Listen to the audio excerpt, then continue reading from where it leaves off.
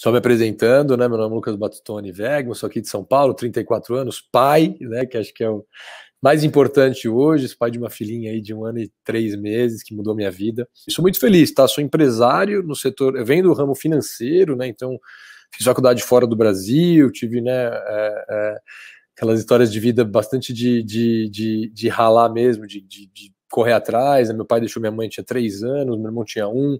Aí minha mãe acabou falecendo quando eu tinha 18, e nessa época eu ganhei uma bolsa de estudos para fazer faculdade na Alemanha. Acabei levando meu irmão para morar comigo lá comigo, então já meio que cuidar de mim e dele, né? Era um menino de 16 anos, eu tinha 18, então era um menino cuidando de outro menino.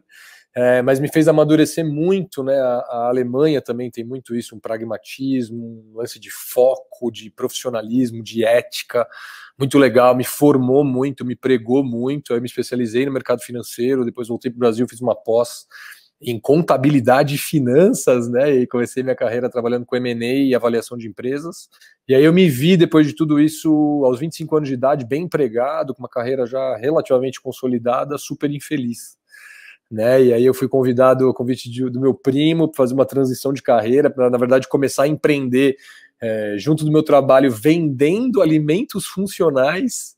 E aí é, é, eu comecei a fazer isso à noite como um plano B e fui me descobrindo, fui me descobrindo nesse, nesse mundo comercial, né? Eu que era totalmente financeiro e também escrevi livro, né? Agora escrevi, já tinha escrito um livro técnico no meu segmento e agora estou uh, lançando esse outro que vai lançar agora dia 1 de novembro, vai estar nas livrarias. É, é um livro falando um pouco, ajudando as pessoas a se, liber, a se libertarem de, de prisões, né? Das prisões que às vezes a gente mesmo cria. A minha primeira pergunta para você é: a ideia de escrever um livro surgiu de uma vontade sua ou das pessoas por quererem lhe conhecer melhor? Cara, uma boa pergunta. Meio que esse aqui que veio primeiro, o ovo ou a galinha, né? É, é, eu, eu sentia nesse. O meu primeiro livro, eu sentia a necessidade de ter quase que uma. Assim, eu falava muitas vezes a mesma coisa, né? No, em milhares de treinamentos que eu fazia, em milhares de mentorias que eu fazia, eu percebi, cara, se eu tô falando muito a mesma coisa, talvez fosse interessante ter uma ferramenta falando por mim, vamos dizer assim, né? Porque pessoas não são muito duplicáveis, mas métodos são, né? Ferramentas são. Então eu, Lucas, não conseguia estar em todo lugar ao mesmo tempo, é, mas talvez a minha mensagem, o meu conhecimento, o meu método conseguiria. Esse segundo, que é muito mais inspiracional, é muito mais pessoal, eu trago muito mais história, né? Não é tão técnico. Esse já foi de um desejo, assim, de ver é, muita gente meio que é, tendo dores que eu também já tive, né? E, e, e não sabendo muito para onde ir, né? E como sair disso. Eu falei, putz, eu acho que eu tenho a, a talvez a resposta aí para essa, ou a solução, o remédio para essas dores, né? E aí meio que veio de um desejo meu de, de entregar isso para as pessoas. Né? Você falou dessa proximidade que você tem com os seus seguidores, com os seus leitores. E você tem também uma carreira e as questões da vida pessoal que são muito bem consolidadas. Você é bem sucedido uhum. na vida pessoal, na vida profissional, e eu queria te perguntar: você se sente pressionado de alguma forma, cobrado em não ter falhas, sejam elas na vida pessoal ou profissional? Nossa, é uma, é uma pergunta muito boa. Eu diria que eu já me senti mais cobrado do que eu sinto hoje. É, hoje eu sinto menos. E é tudo aquela questão do nosso próprio chip, né? Não é que as pessoas me cobram, ninguém. Acho que todo mundo sabe que você é humano e, e tudo mais, né? Mas eu vejo que até na minha postura, na minha comunicação, antes eu tinha um pouco aquela coisa de, sabe, do herói, até meio inconsciente, de tipo, ah, eu cheguei lá, você também pode, né? Mais ou menos essa mensagem que eu passava até meio sem perceber. É, eu posso falhar em tudo, só não posso falhar como pai. Então, assim, hoje eu tô meio que assim, se eu errar e tal, tô nem aí, sabe assim? Eu só não quero errar como pai, assim, eu vou errar pra caramba, né? Mas eu só não quero. Uh, uh, eu, eu me cobro muito para ser um bom pai hoje, assim, o resto virou meio que secundário, sabe? E essa presença que você tem nas redes sociais, de alguma forma, a gente sabe que as redes sociais têm a questão de admiração por parte das pessoas, mas um julgamento e muitas vezes errado. Você tem uma preocupação um cuidado na hora de postar suas conquistas, suas felicidades, para não serem interpretadas como ostentação para as pessoas? Tenho, tenho. Eu já, eu já, com certeza, eu, eu até que eu sempre me, eu nunca gostei muito de, de meio que de mostrar as coisas, principalmente o que você tem ou o que você conquistou e tal. Mas uh, uh, eu acabo compartilhando assim, coisas boas, coisas legais, eu compartilho, tento fazer isso de um jeito mais mais humilde, sabe assim, falando, pô, queria dividir algo bacana, bem esse prêmio, aconteceu tal coisa, obrigado e tudo mais. Eu, eu cuido, então, assim, respondendo, eu cuido sim, para não parecer arrogante. Seu livro destaca muito a questão de ser protagonista da própria história. Você sente que chegou no auge da sua vida, da sua carreira, ou você ainda não se sente realizado em algum desses fatores? É, cara, boa, boa pergunta também, né? Eu diria que eu não, não, não sinto que eu tô no auge, longe disso até, eu sinto que eu, eu diria que eu tô até no começo, assim, que eu olho para o futuro e eu tenho tanta coisa na cabeça, tantas coisas que eu quero realizar, tantas coisas que eu quero viver. É, então, assim, não, não, não me considero que tô no auge, estou muito longe disso, mas ao mesmo tempo. É, é, tenho orgulho da história, né? Tenho orgulho da história e, e entendo que, que, que talvez o, o, vamos dizer assim, o, a, essa auto, o sentimento de autorrealização, ele vem muito mais com isso, né? De você tá no controle, você sentir que a sua vida tá no seu controle. Eu posso não, poxa, eu não tô onde eu gostaria de estar hoje em dia, mas se eu sinto que eu tô com a mão no volante, sabe assim, que eu vou levar ela para lá, isso já é puta, já é muito legal, assim, já é, já é muito mágico, já te faz sentir bem, sentir orgulho de você mesmo, autoconfiança, né? Eu acho que pessoas autoconfiantes, que, que, que, confiam em si mesmas, no próprio poder de julgamento, na própria maneira que vê o mundo, no bom senso, naturalmente são mais realizadas, são mais felizes, vibram de uma forma diferente. Depois de ler seu livro, você acredita que o leitor ele sai com qual sentimento de lição de casa, digamos assim, que ele tem perante a própria vida? O que, que você Legal. espera desse leitor? Eu espero, nossa, eu espero muitas coisas, né? Eu acho que a gente, quando escreve o livro, a gente fica, a gente quer que a pessoa saia transformada, né? Depois da leitura. Hoje eu já acho que eu, eu já fui transformado por livros, né? Mas poucos que eu diria que, nossa, eu saí outro cara depois da, depois da leitura. Mas é um pouco da minha intenção, né? Eu gostaria de talvez trazer uma transformação para as pessoas, mas assim, eu estaria feliz e estaria realizado se, se a pessoa, se as pessoas, ou o leitor, os leitores, é, começassem a botar é, ser livre como um objetivo. Poucas vezes a gente para para realmente pensar o que, que, me faz feliz, né? O que, que eu quero da minha vida? Eu uso eu mesmo como exemplo, até eu ter 25 anos, ter feito pós-graduação, estar tá empregado, tá ganhando uma grana e tal, eu nunca realmente tinha parado, né? E para refletir, para pensar, para me autoconhecer, para ler algumas coisas que, que me fazem entender quem é esse cara aqui melhor. Você acaba sendo referência para muitas pessoas, mas eu queria saber quais pessoas são as suas referências.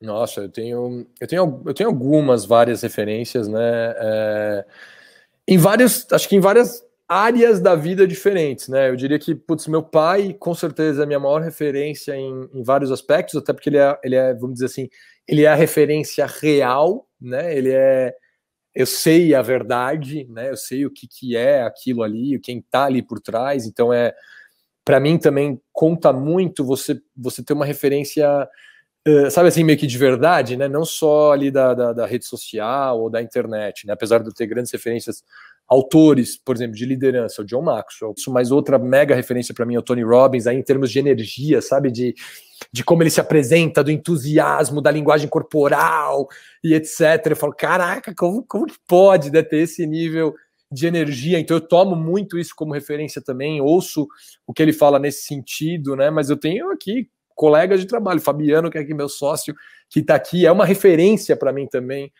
Você teve algum feedback durante a sua trajetória que te comoveu, que mais mexeu contigo? Nossa, muitos, assim, né? O meu, o meu trabalho, na verdade, é.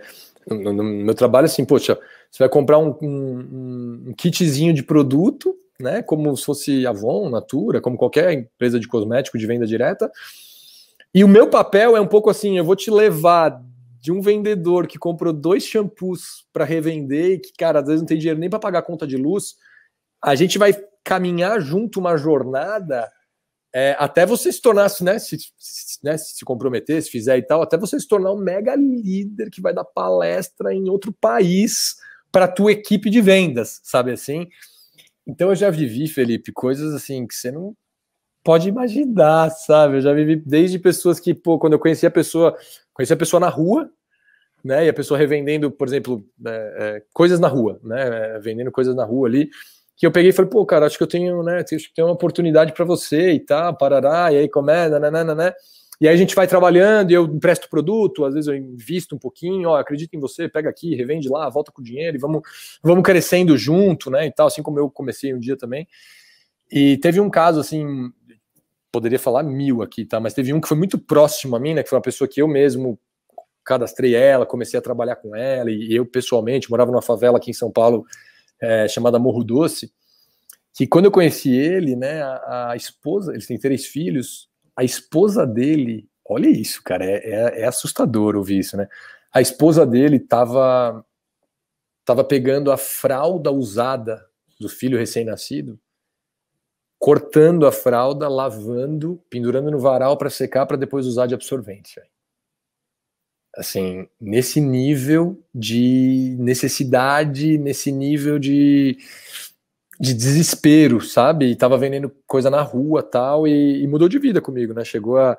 É, saiu da favela, botou os filhos na escola particular, os filhos estão tocando piano. Essa pessoa ganha hoje de 8 a 10 mil reais por mês, assim, né? Com a equipe que ela montou e tal. E era uma pessoa que tava na, assim, usando fralda usada de absorvente. Então, assim, você consegue entender o nível que tava, né? E, e e como essa história, eu tenho milhares no Brasil. Já fui para Marabá, né, que é sul do Pará, lá, e pessoas, pô, 16 horas de ônibus para chegar e o ônibus quebrou. Aí pedi carona em carro funerário de ir lá atrás com o defunto para chegar no treinamento e ir no treinamento, ouvir uma frase que não tem nada a ver comigo, né? Mas ouvi uma frase minha ali que fez ela ela virar chave, tomar decisão e transformar a vida dela e da família dela, sabe assim? Uma dúvida que me bateu aqui, o nome que leva o teu livro é um bordão seu? Como que ele foi ali escolhido? É, é, é isso eu tenho que eu tenho que reconhecer, né? Foi a editora que veio com esse nome. Eu tinha tido um outro nome para ele, eu tinha meio que um nome mais mais pragmático, era para ser o Guia da Liberdade, né? E aí a própria. E, eu falo realmente muito, assim, as pessoas, ai, Lucas, o que você acha que eu faço? Porque eu tenho essa situação, essa outra. Eu mano, só vai, velho. Só faz, sabe assim, pensa menos e haja mais. O feito é melhor que o perfeito. Eu sempre falo isso nos treinamentos e tal. No próprio livro coloquei muito isso. Então, sim, é um bordão meu. Que a editora viu e falou assim, cara, eu acho que tem muito mais a ver com o livro, com o que você fala, com o que você faz. Eu vou finalizar nossa entrevista com uma pergunta para você quando você pega a sua trajetória pessoal, profissional, e se por algum momento você pudesse se reencontrar com o menino que você foi, que não imaginava o profissional, a pessoa que você seria hoje em dia, qual conselho você daria? Nossa, é, eu era um garoto, Felipe, assim, gordinho, tímido, com autoestima muito baixa, sabe? Tinha medo de, de, de, de mostrar quem eu era para o mundo, para as pessoas. Mas com certeza eu falaria para ter mais coragem, né? Coragem no sentido literal mesmo, que é, pô, eu sei que você tem medo, mas vai com medo mesmo, sabe assim? É, é, se exponha, não tenha vergonha, sabe assim? Você não perde nada. Você perde se você não fala, você perde se você não faz, você perde se você não tenta. É, é, e acho que é isso que eu falaria para esse para esse garoto, cara. Eu acho que você tentar, você se expor, você meter a cara, você nunca, nunca perde, sabe assim? Ou você ganha ou você aprende. Muito bem, obrigado, Lucas. É isso, curtinho. Cedido o seu tempo para falar comigo. É um prazer, prazerzaço. Parabéns pelo seu trabalho. Para mim foi um prazer também, uma honra. Primeira entrevista assim que eu faço assim. É? De, né, ah, que é. honra. Então, para mim também super valeu a experiência demais. Obrigado aí, Felipe.